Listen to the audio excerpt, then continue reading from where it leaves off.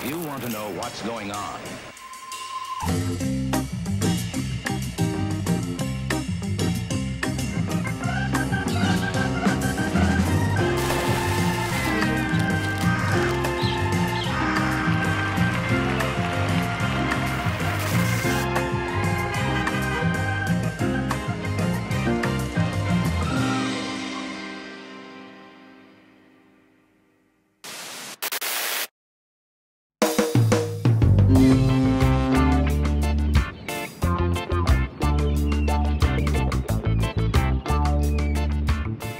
And there's always been a fight between Watch Hill and Rhode Island.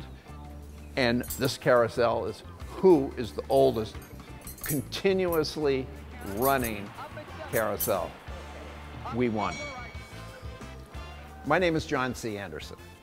I'm a painting and restoration contractor here on Martha's Vineyard, and I've been doing that since 1981 and I work for the Preservation Trust, who owns the Flying Horses since 1982, painting all the historic buildings, and then I started to restore the historic buildings, and that brought me into working on the Flying Horses. When the trust bought it, they did research on restoring the horses. Finding, again, old black and white photographs from different people on the island that collected photographs of that. This is 1884 color, original color. Very little touch-up was done. These carousels, when they were built, were vibrant, vibrantly colorful. They were always kept up. So they were bright and cheerful for the kids or kids of heart. This is a representation of color from 1884. And we got back some of the blanket details. Um, it's a little finial thing on, on the saddle. The teeth were more exaggerated. They look like teeth instead of just a rounded piece of wood. In the carousel business, so to speak, there's websites that you can find that you can find all the parts and pieces if you need it.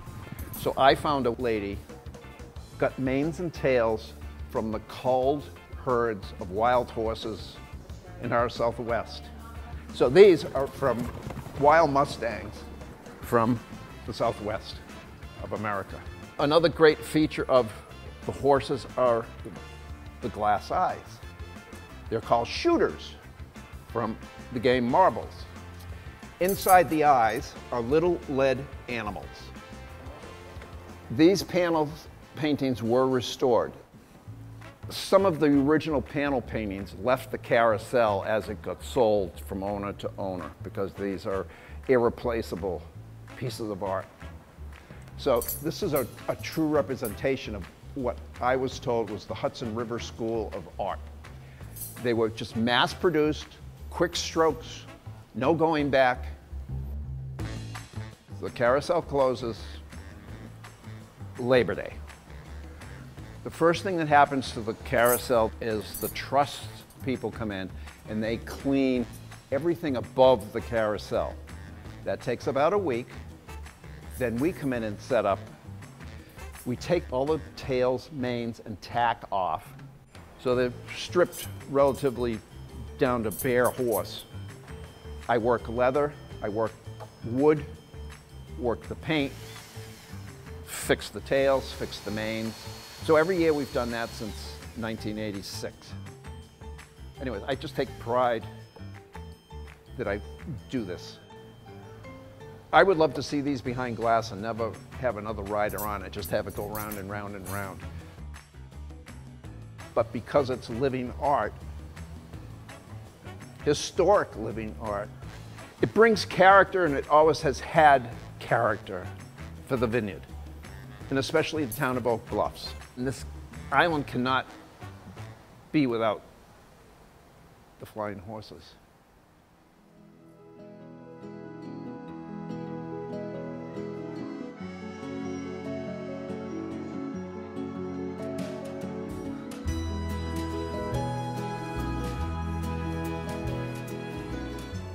I was born on the vineyard. Carousel is part of my life.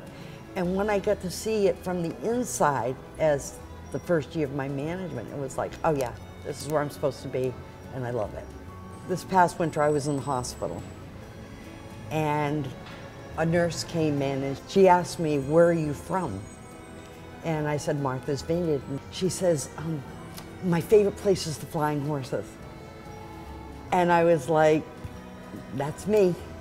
I'm the manager, been there 34 years. She's like, Oh my God, in amazement. And I realized how important the Flying Horses is to so many people. But to actually have somebody present it that way, you're like, yeah, it is a special place. It's magical. I think my role here is sort of like the jokester, the jester. I talk to the young kids. If you'll notice, each horse has a spike on the top for the rings. The young girls now think those are unicorns. And I tell them let your imaginations go, guys. I'll tell them, oh, we have to buckle you on really good. Why? I won't fall off. No, because the horses might jump the fences and go to the beach.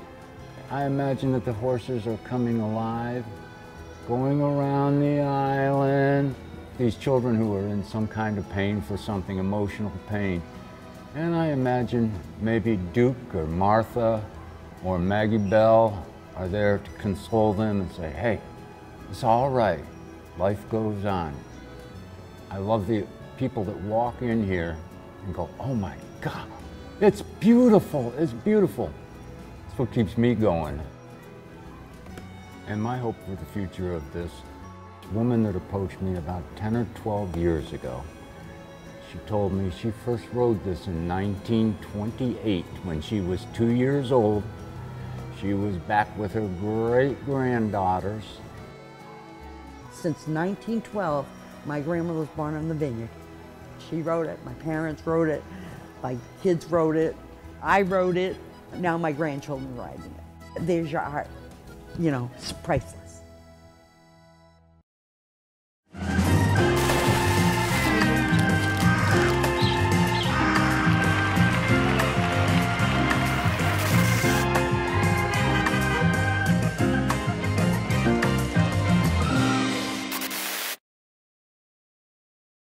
Watch more Art Inc. with new episodes uploaded every Wednesday on ripbs.org/artinc.